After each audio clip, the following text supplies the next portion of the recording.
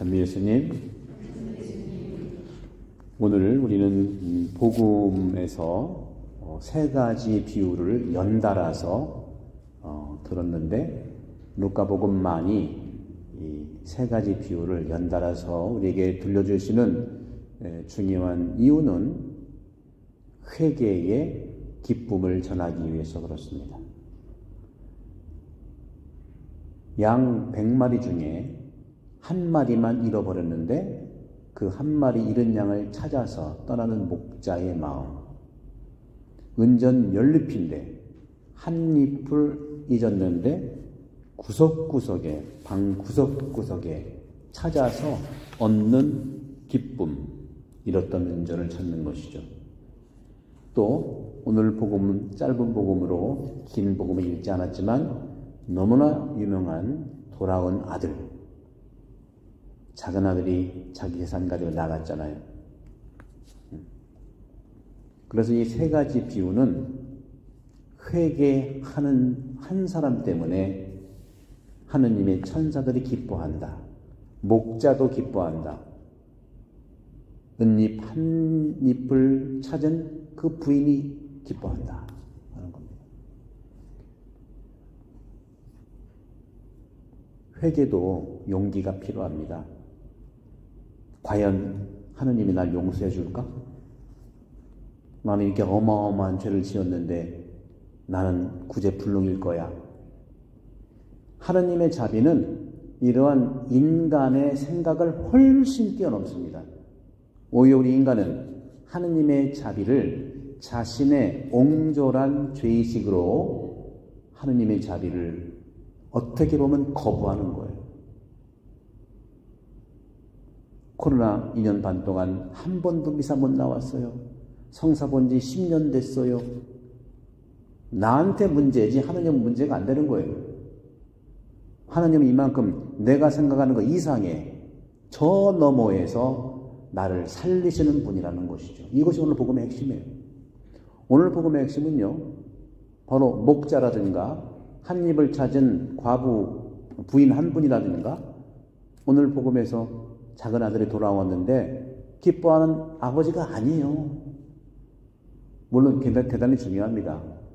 어떤 아버지고 어떤 목자고 어떤 부인이 정말 기뻐하지 않겠습니까? 하지만 이 복음에서 하느님께서 우리에게 누차 강조하는 것은 잃은 양 한 마리가 돌아온다는 거고 한 잎을 잃어버린 99마리하고 한 마리하고 차이가 안 나잖아요. 그죠? 차이가 엄청 나잖아요. 한 마리쯤이야 할 수 있어요. 그런데 99마리 말고 한 마리를 소중하게 여기는 아버지의 자비는 내가 생각하는 훨씬 뛰어넘는 사랑을 드러내시는 겁니다. 우리는 하느님의 무한한 사랑을 내 생각으로 축소시키거나 오해시키지 마십시다. 오히려 그런 것이 더 죄예요. 오늘 제1독서를 보십시다. 오늘 제1독서에서 이스라엘 백성들이 이집트에서 고통과 고난을 당하는데 하나님께서 모세를 통해서 출애굽을 해줬잖아요. 고통에서 꺼내줬더니 오늘 이 이스라엘 백성들이 우상숭배를 하는 거예요.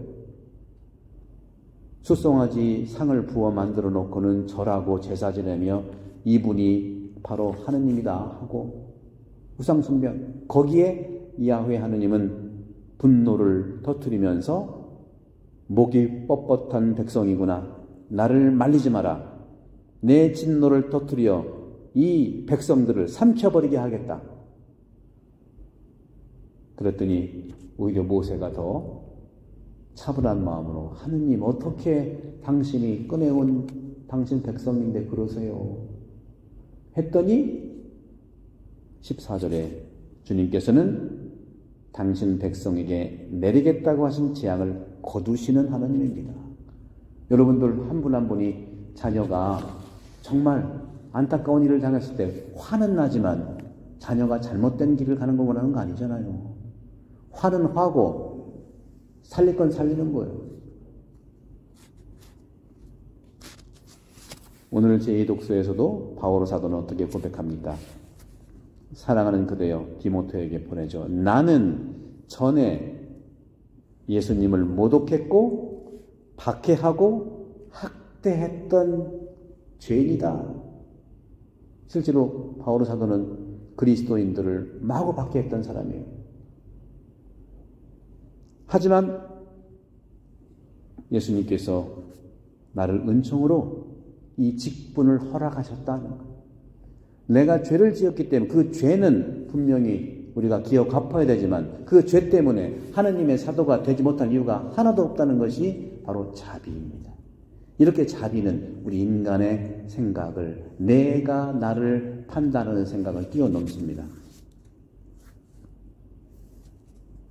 그리스도 예수님 안에 믿음과 사랑과 함께 주님의 은총이 흘러 넘쳤기 때문에 죄보다 은총이 더 큽니다, 여러분들.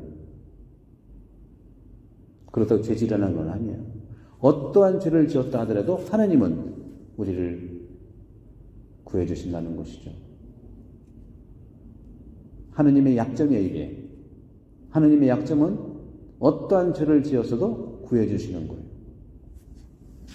사람이 하느님을 이용해도 이용해도 들어주시는 겁니다. 그게 첫 번째 우리 구약 성경에서 있었던 카인의 잔머리 사건이잖아요. 카인이 자기 동생을 죽였어요. 마땅히 카인도 죽임을 당해야 돼. 그런데 이 카인은 하나님의 약점을 알고 있었어요. 그래서 오히려 죽어 마땅한 카인이 하느님한테 잔머리를 굴려서 하느님 밖에 내가 나가면 사람들 날 죽이려고 해요. 어떡하죠? 못 죽게 표시해 줬잖아요. 못 죽이게 표시했잖아요. 이것이 바로 하느님의 자비입니다. 오늘 복음에서 우리가 특별히 본받아야 할 점은 루카복음 15장 1절에 나와 있는 세리들과 죄인들의 담대한 용기입니다. 세리와 죄인들은 예수님의 말씀을 들으려고 그렇죠? 세리는 그 지역에 정말 아주 모든 사람들한테 손가락질 받는 그러한 죄인 중의 죄인이에요. 로마 권력에 딱 붙어서 같은 민족 등을 쳐서 먹고 사는 사람이거든요. 당연히 죄인은 또 죄인의 역할이고요. 그런데 분명히 세리는 예수님을 만난 순간부터 회개할 것을 기다렸어요. 내가 사는 게 죄인인데 내가 이렇게 죄인으로 평생 살 수가 없다. 그런 예수님 오기를 기다리면서 세리와 죄인들이 모두 예수님의 말씀을 들으려고 가까이 모여들고 있었다. 얼마나 이것이 기적입니까? 이것 자체가 은총이 충만한 것. 우리가 우리를 어떻게 단죄할 수 있습니까? 내가 나를 어떻게 단죄할 수 있겠습니까? 하느님은 우리를 당신 용서의 은총으로 초대하시는데 그런데 바리사이들은 늘 율법학자들은 늘 세리들과 죄인들을 죄인 취급하면서 투덜거리고 지적하고 죄인이라고 소위 얘기하는 법의 이름으로 단죄하고 있는 것입니다. 여러분들 의로움 정의는 뭡니까? 소위 바리사이들이 자신이 의롭다고 하는 의로움의 기준이 뭐예요? 예수님께서는 하느님의 자비를 구체적으로 살아가신 분이에요. 자비는 무엇이고 정의는 무엇입니까? 둘 다 사람을 살리는데 사용돼야 하는 가치입니다. 정의도 사람을 살리기 위해 써야 되는 것이고 자비도 사람을 살리기 위해 써야 되는 목표가 똑같은 거예요. 방향만 다를 뿐이에요. 정의의 이름으로 사람을 단죄하거나 자비의 이름으로 정의를 눈 감아주거나 안 되는 거죠. 우리는 그 점에서 헷갈리면 안 되겠습니다.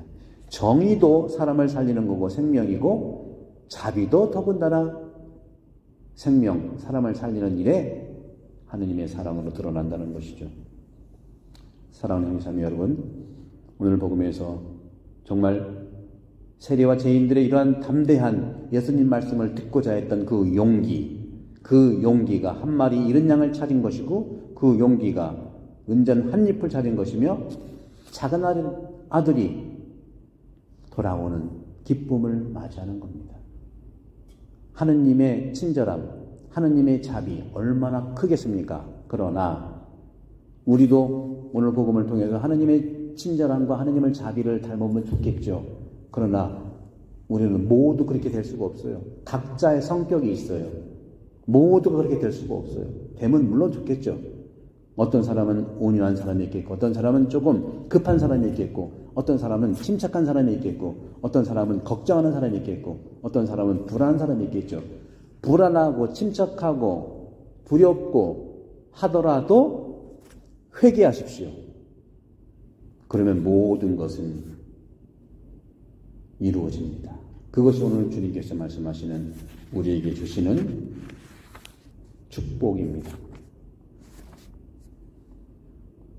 하늘에서는 회개하는 죄인 한 사람 때문에 더 기뻐할 것이다.